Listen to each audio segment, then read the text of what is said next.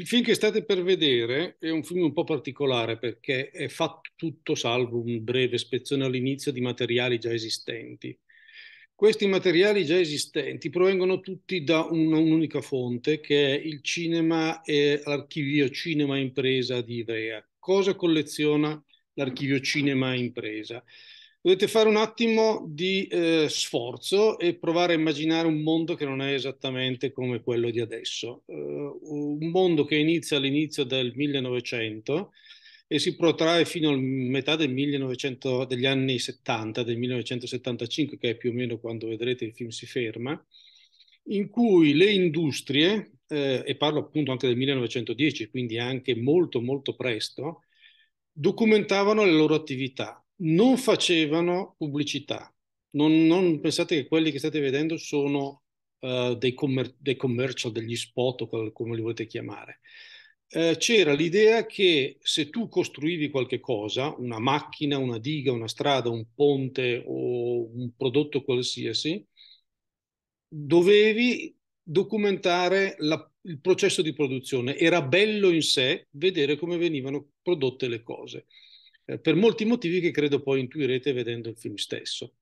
Eh, ecco che così si creano all'interno delle aziende, soprattutto quelle grandi ovviamente, dalla Fiat in giù, gruppi specificatamente dedicati a documentare questo fatto e così si creano i film, film di 10-20 minuti, mezz'ora, talvolta, talvolta 5 minuti, dove si racconta come viene fatto un prodotto e perché quel prodotto è buono.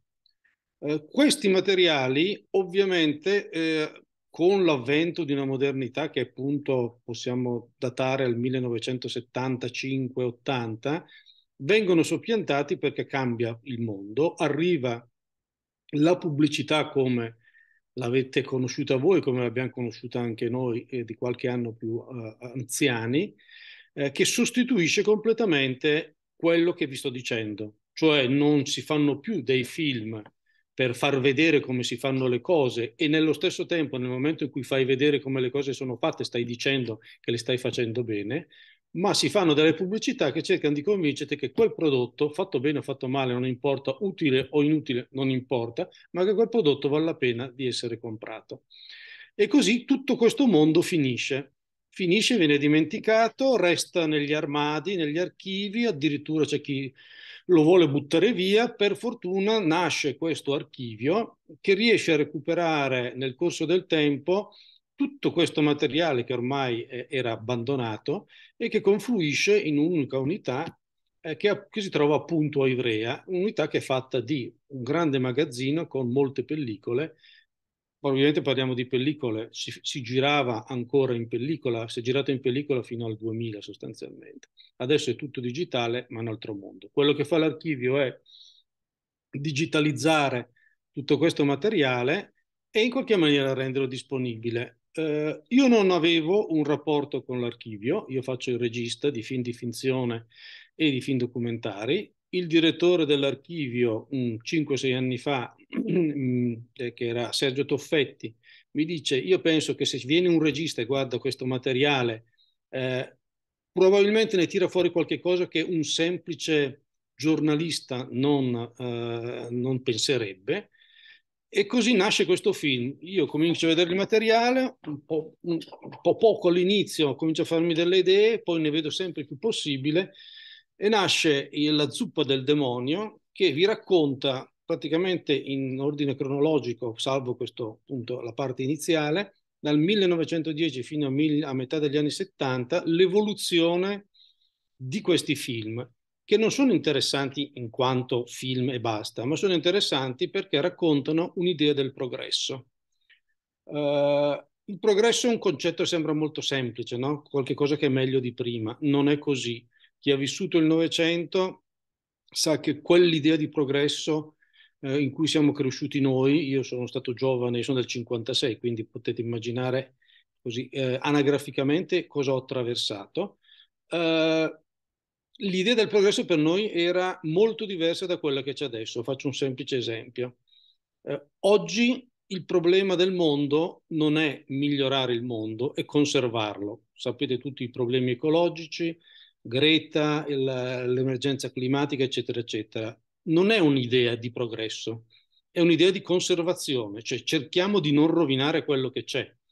E perché cerchiamo di non rovinare quello che c'è? Perché forse quell'idea di progresso che c'era prima e che vedrete illustrata nel film, proprio quello ti diceva.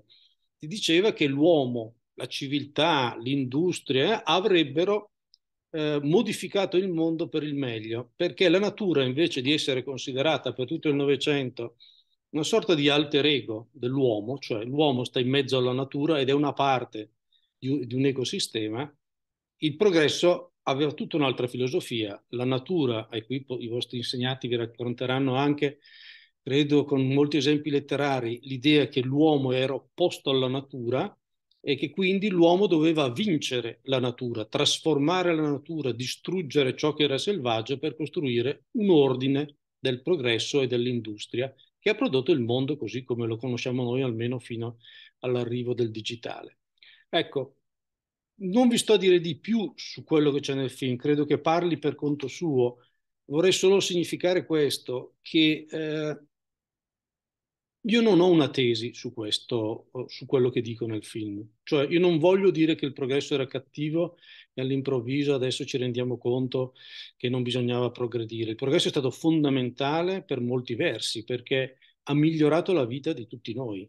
Mi ricordo bene com'era la vita negli anni 60, che già er uscivamo dalla guerra, quindi non era una, una, una situazione terribile ma se devo confrontarla con la vita di adesso era estremamente più scomoda, diciamo così il progresso ha avuto una grande importanza nel migliorare le condizioni dell'umanità, ma c'è stato un prezzo da pagare. Ora il tema è proprio questo, qual è, qual è l'entità del prezzo che bisognava pagare per questo?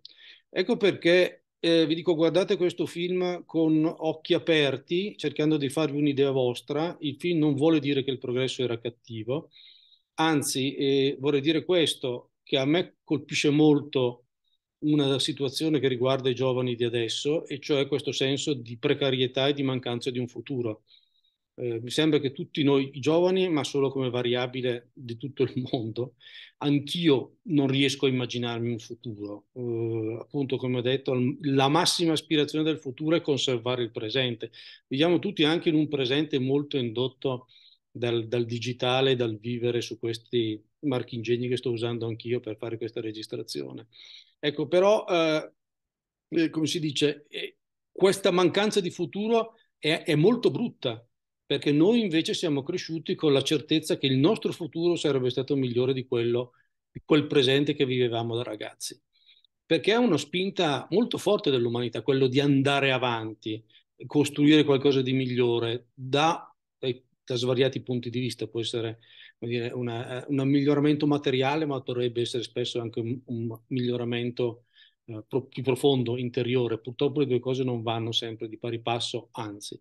Ecco, il film vuole essere, mh, diciamo, positivamente ambiguo in questo senso. Spero che anche gli insegnanti non usino il film semplicemente come una dimostrazione di ecologismo. Credo che ci sia una profonda difficoltà nel dire chi, chi, aveva ragione davvero o chi ha ragione davvero adesso. Diciamo per concludere che ci sono delle azioni che hanno delle conseguenze e ci sono delle azioni, tutte le azioni hanno delle conseguenze e quindi quando si fa qualche cosa eh, ci saranno delle conseguenze, bisognerebbe esserne consapevoli. Altrettanto vero, e qua davvero chiudo, eh, che anche quando non si fa qualche cosa o non si fa niente, le conseguenze ci sono lo stesso sia perché anche l'inattività in sé produce qualche cosa, la stessa inattività è comunque una conseguenza, sia perché se tu non fai niente ma qualcun altro fa qualche cosa, tu gli andrai semplicemente dietro e patirai quelle conseguenze anche se non hai voluto condividere l'iniziativa. Ciò detto, io spero che comunque vi divertiate perché il film è eh, anche ironico e credo molto interessante dal punto di vista visivo, con i materiali che vedrete sono straordinari, sono stati anche fatti da registi molto importanti che prima di diventare registi di cinema eh, premiati a Cannes piuttosto che in altri festival sono stati dei lavoratori del cinema lavorando proprio in quel tipo di settore lì. I testi anche, se i vostri insegnanti ve li Uh, avranno voglia di eh, approfondire la questione provengono da una serie di intellettuali molto importanti del Novecento italiano Detto questo, eh, La zuppa del demonio capirete perché si intitola così il film, dai, primi cinque minuti non vi resta che augurarvi buona visione.